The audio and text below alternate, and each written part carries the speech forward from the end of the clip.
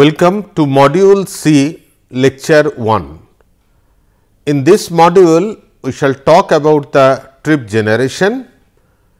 In today's lecture, we will give you an introduction to trip generation and also identify various uh, basic aspects which are important in the context of trip generation. The analysis and model building phase in a four stage transportation planning process starts with trip generation that is the phase 1.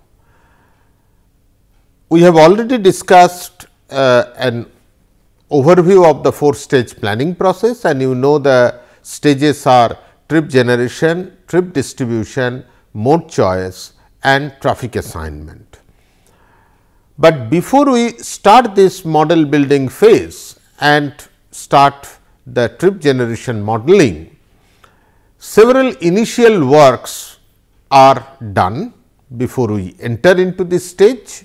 Say for example, we need to identify the study area, we need to divide the study area into suitable number of traffic zones, identify zone centroid, build the road network or develop the map of the road network, connect the centroids to this road network, we identify various activities that are there in the uh, in different traffic zones, identify traffic zones. So, all these groundworks or the I, I would say the base works are done before we actually enter into trip generation stage. In fact, as you know the urban activities or the distribution of activities in different zones are the basic inputs to the trip generation process. Now, it looks like this. So, we have identified the study area, we have uh, you know demarcated the, the, the boundary to do to say that that is within that uh, demarcated boundary or cordon line is our study area, uh, then divided them into suitable number of uh, smaller zones and then identified the zone centroids, connected it to the basic network. So, all these homeworks are ready. Now, we are talking about trip generation. So, the very first thing is to understand what is a trip, how we define a trip. A trip may be defined as a one way movement from an origin to a destination, right. People move for different reasons. We stay in home, but then we need to go to college. So, we travel to college. We need to go for uh, buying vegetables, so we go to market, right. So, every one way movement is called a trip. So, every movement has an origin, it starts from a point, it goes to a destination. Say for example, uh, if I am traveling from home to shop, then my starting point origin is home and my destination is shop. Now, what we are doing in trip generation as we said that inputs to the trip generation what, what is the basic input? Basic input is the activities in different zones. So, we can say that trip generation in this the, is the process by which we are trying to convert activities into number of trips, because because the activities the trips are happening. So, what is or what are the levels of activities and then correspondingly what are the uh, levels of trip generation. So, we can say that trip generation is a process by which we are converting activities into number of trips. And the aim of trip generation is to understand and also quantify the relationship between what? Between urban activity that is the input and the present trip making that is the output. right? So, you want to understand and quantify this relationship. What level of urban activity means what level of expected trip generation. And that is what why we are doing this because we want to predict the amount of travel in the forecast year. Say 2021 we are doing the work. So, 2021 we know the activities in different zones, we know the present trip making also in different zone. We try to understand and capture this relationship or quantify this relationship. So, that future we know what kind of activities are planned or what kind of activities are likely to happen in these zones. So, if the future activities are like that, then using this relation we would like to uh, we would be able to say that what kind of travel or trip generation can happen in the forecast year. So, it is all for all this model building including the trip generation modeling is basically to, uh, to, to capture the relationship, so that we are able to predict it in the forecast year or horizon year. We also call it as horizon year. Then since we say amount of travel, what we mean by amount of travel? Amount of travel means the number of trip ends. Every trip has got two ends, somewhere it is an origin, there is an origin, there is also a destination. So, we want to predict how many trip ends are going to happen. That is the amount amount of travel means how many trip ends. This is in the context of trip generation. So, every trip has an origin and has a destination. It starts from one place, it goes to another place, right. So, every trip is also produced somewhere and attracted somewhere. So, there cannot be any trip which is uh, there in that urban network which is produced, but not attracted that is impossible right. Every trip which is produced must be getting attracted somewhere otherwise it is not a trip. Same way if we know that some trips are getting attracted it must be getting produced somewhere as well is not it.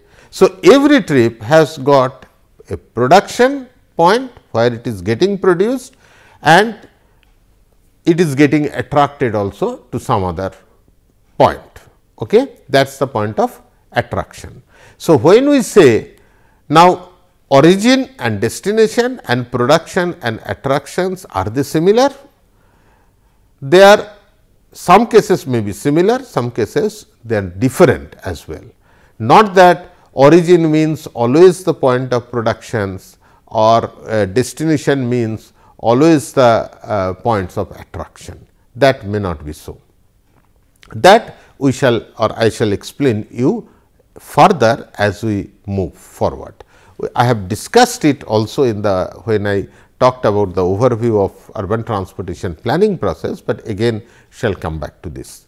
The basic idea is if home is one end either origin or uh, destination, then the trip is always produced at home end and attracted at the other end.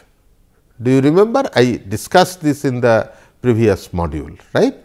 So, if there is any end either origin or destination, it may be origin, it may be destination, one end is home. So, if there is a home in one end, then the trip is always produced at home end and attracted to the other end, right. And if none of these ends include home, then trip is produced at the origin point, trip is getting attracted at the destination point. That is as simple as that. So, because there are both trip gen productions and trip attractions. So, when we are talking about trip generation analysis, we also mean that trip production analysis and trip attraction analysis. So, both are to be understood clearly and we need to model both not just one. Now, trip production is applicable for trips generated by residential zones, where these trips may be origins or destinations. That is what I explained. If there is a home end, residential area is there, if there is a home end, then trip is always produced at the moment irrespective of whether uh, that is origin or that is destination. Maybe from uh, if I origin destination is very relative, because if somebody is going from home to office and you ask him where from you are coming, he will say I am coming from home. Where you are going, he will say okay I am going to office, right. But the same person if you ask him in the afternoon when he is going back home from office, he will say where from you are coming, he will say okay I am coming from office, where you are going I am going back to uh, I am going home. But that does not mean trip is produced in the office, trip always gets attracted in the office right. So, if there is a home end trip is always produced in home end because people stay there finally right.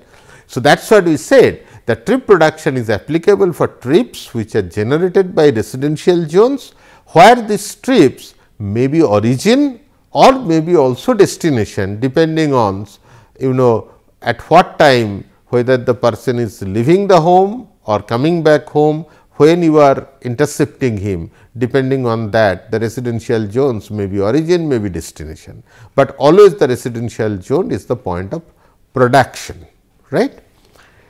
Then trip attraction is used to describe trip generated by activities at the non home end of the home based trip.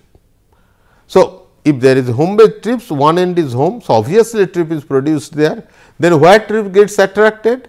Trip gets attracted to the other end which is then the non home end of a home based trip what kind of attraction it could be? It could be maybe employment, people are going to office, it may be retail service, it may be you know shopping, it may be recreational facility, anything is possible other than residential activities, right.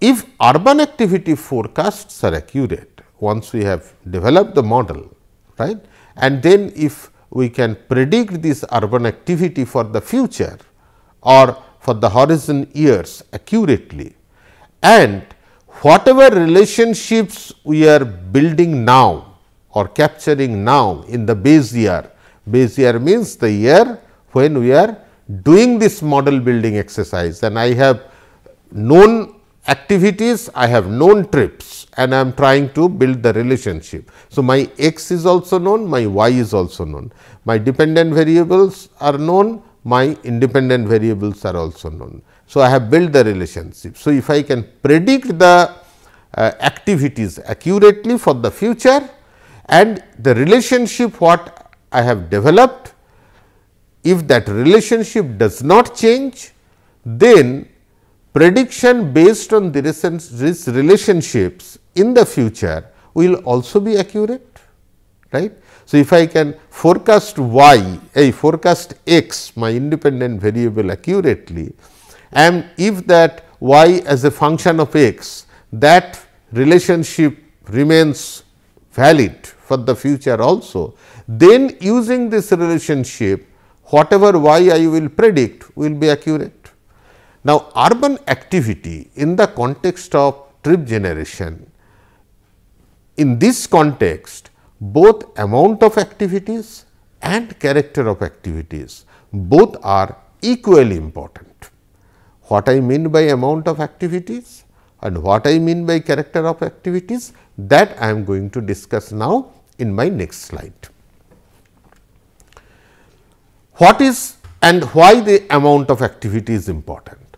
Let us say that given everything else same, if there are you know 100 households in a zone and if there are 200 households in a zone, given everything else is same, okay, nothing else is changing, then where the you expect more trip production to happen? Obviously, where there are more households stay staying in that zone, right. So, 200 households will make you know generate more trip than 100 households right. So, the amount of urban activity is important. How many households? Number, number is important. How many households are there? Okay. So, if there are more households, more activities, it means more activities and it means also more trip production. So, that is what I have said here that relationships exist between the amount of urban activities and the travel. Why? As I explained, I have mentioned it here the same thing, all else being equal, a zone with larger number of households will obviously generate more trips than a zone with smaller number. So, the number matters that means the amount of urban activity matters. So, and in fact, the amount of activity is a key element in trip generation. We must know what amount of activity that is Uh, likely to generate are likely to be there in the future. Now, how we express the amount of activities? I tell number of households, yes that is one. It could also be number of employees, number of retail sales in a zone. All these are actually used to express the amount of urban activity in an urban area. Now, as I said the character is also important, not only the number or not only the amount. Why the character is important? If I tell you in the context of residential land use, now you know that you know households could be of different types. If you go to a typical urban area, there are uh, low income housing, there are medium income housing, medium income group housings, right. Similarly, high income group housing. So, we know that LIG, MIG, HIG all different types of housings are there right. Now, if I ask you that a same number say say 1000 families are there, okay. everything else is equal right everything else means all other except the you know size or the nature of house right but one area is basically LIG dominated housing and another area is HIG dominated dominated housing. Where more trips will happen or will same number of trips will happen in both areas? The answer is simply no.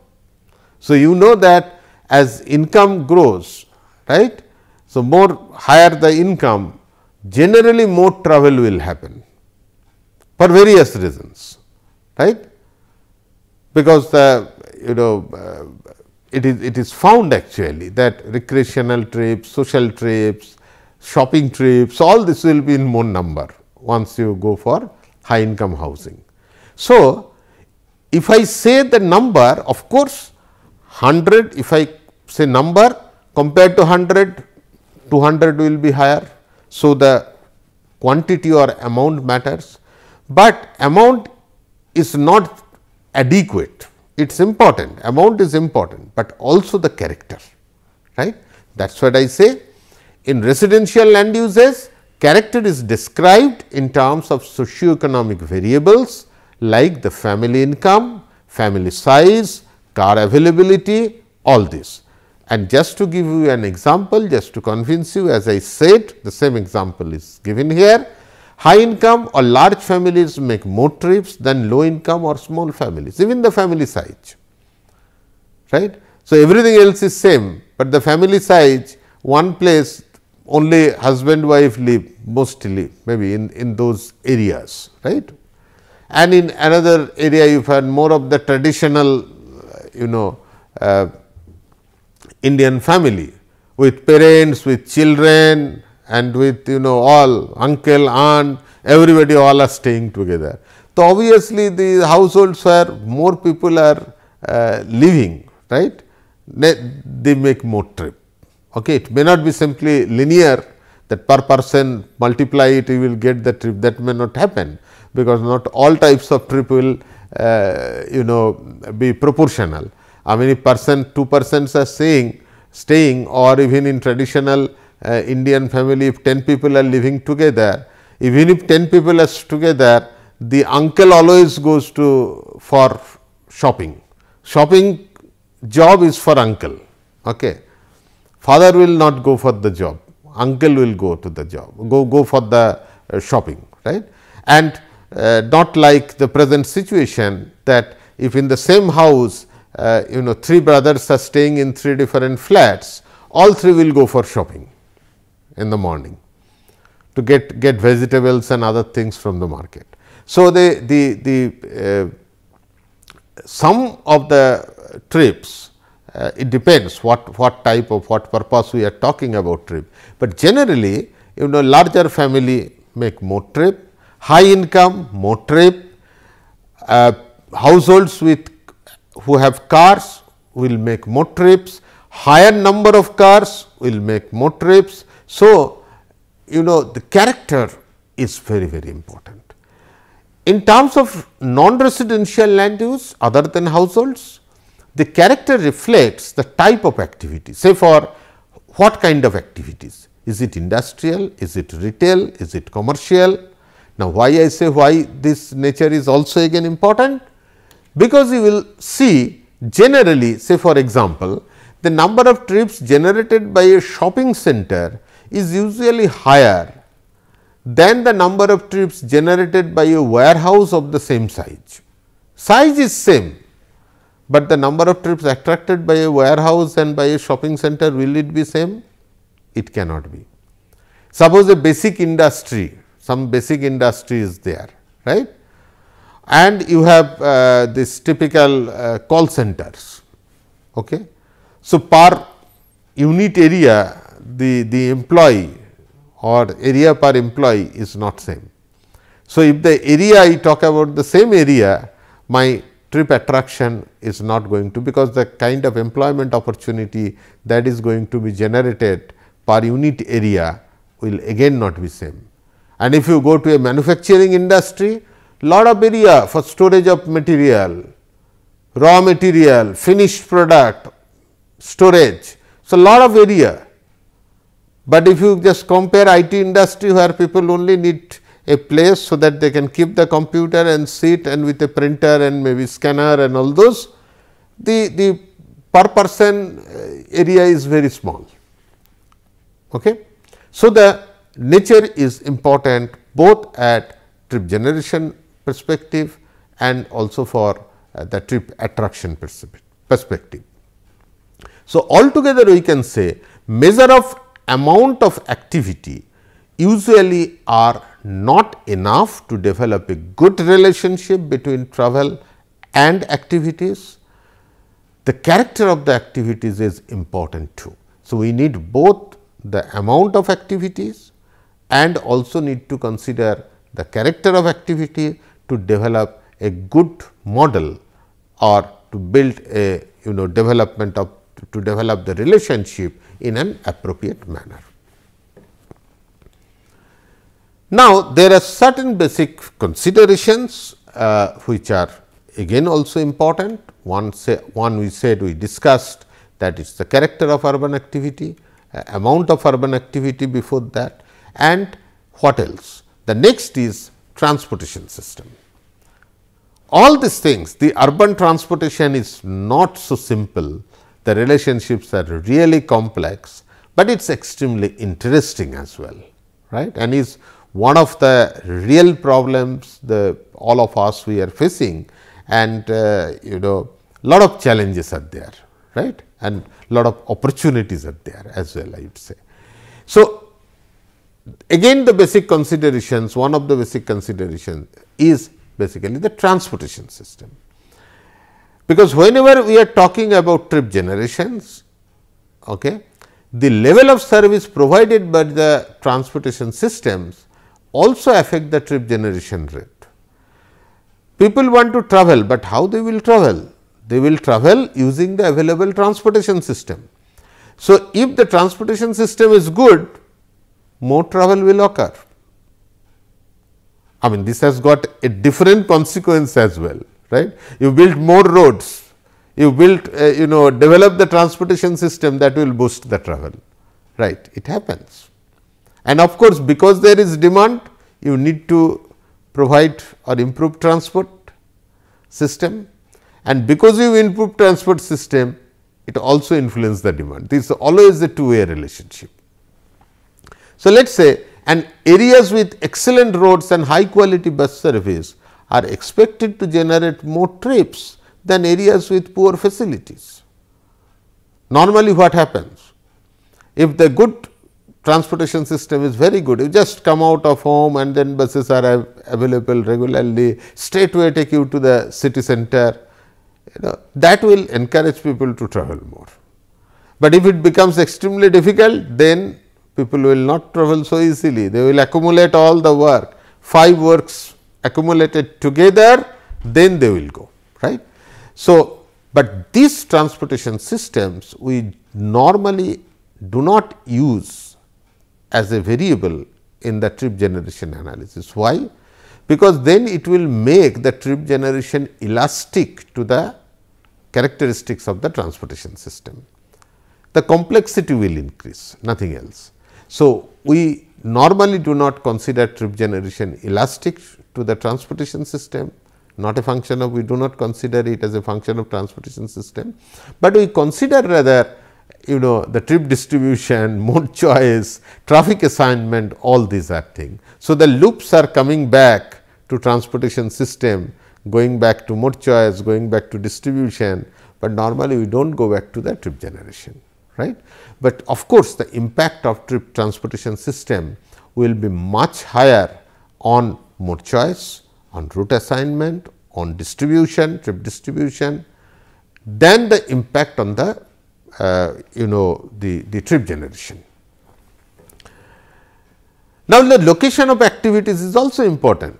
Where the shopping center is located?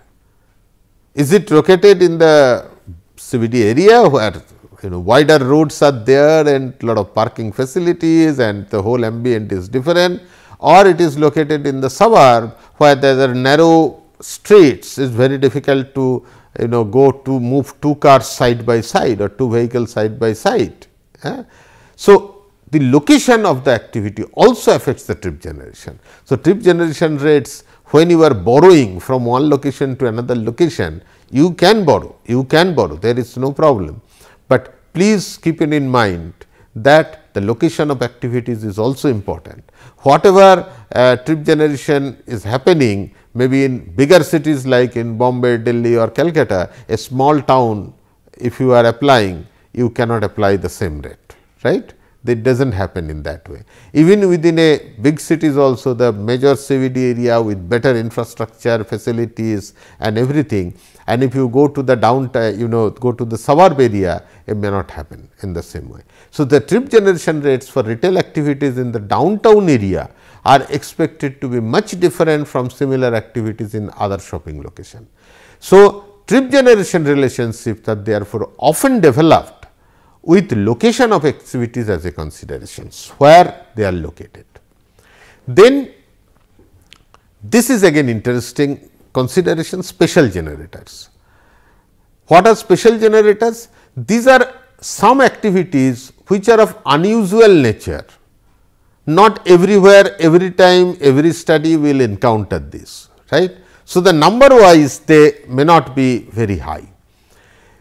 There are some special activities of unusual nature which warrant special consideration in trip generation analysis. For example, the normal land use or activities trend will not indicate if you are trying to develop an airport in that area that is a very much special generator. If you are trying to build a new hospital, right, the normal activity forecast will not include such kind of you know generators or maybe military base or large regional shopping complex or developing maybe a stadium, right. And it is a very, very uh, different attraction. If there is a India Pakistan match in, in a stadium, the kind of trips what are uh, expected, the kind of trips what will happen, the whole thing, it is a, it's a different event altogether, right. So, similarly, if you have really you are building a airport, air, building an airport, that is again a completely different thing. So, the special generators are relatively few in number in any urban area, may not be really large in number. Not in every uh, uh project or every uh, city you will find that, but may represent a significant portion of the trips and therefore, justify separate treatments. So, normal forecast, normal growth rate we are applying uh, for activity forecast, they may not include all such kind of special generator.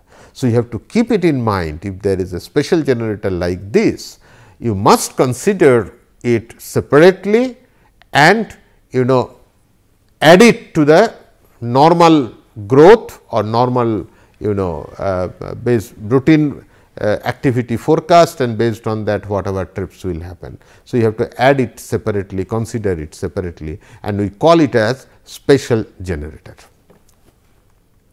So, if I have to conclude this lecture I would say we discussed about what is trip generation. It is basically translating activities into number of trips. And in that process, process how we are translating in the base year we are translating. So, we have known activities, known trip making. So, we are building the relation, trying to understand the relationship and that relationship we are applying in the future and with inputs what input? Input as the urban activity forecast. So, if my forecast is urban activity forecast is accurate realistic, I would say realistic rather than accurate okay, because forecast is always you know with subject to certain error that will happen bound to happen. Okay. Both in independent variable, dependent variable everywhere there will be some error you cannot avoid completely. So, if my relationship is fine and if my activity forecasts are fine and if the relationships are also valid for the future, then I would be able to forecast the trips that are going to come up in the future or in the horizon year. Then we discussed about basic considerations. We said that amount of activity is important, but also the character of activity both in the sense of residential land use and other types of land uses or non-residential land uses. Then we say that the transportation system is important because transportation system influence the trip generation, but I said that normally we do not consider trip generation as a function of transportation system. I said just more we consider the impact of transportation system on distribution, on mode choice, on traffic assignment, but we do not uh, you know link the transportation system influence on trip generation, but actually that influence is there very much there. Okay? Maybe because of simplicity we do not consider and because of the impact of transportation system will be even much more on distribution, on mode choice and on assignment. Then we said the location of urban activity is also important, where it is located. So, geographically we are transferring the trip rates, right one has to be very careful with that. And as I said there are certain special generators like stadium, uh, hospital, large scale community centers and all those kinds of special generators, which may not be airports, which may not be large in number and may not you may not encounter such kind of generators in every project, but you have to be careful if there are special generators like this they need separate consideration because normal activity forecast will not include slash special generator. Okay. Thank you so much.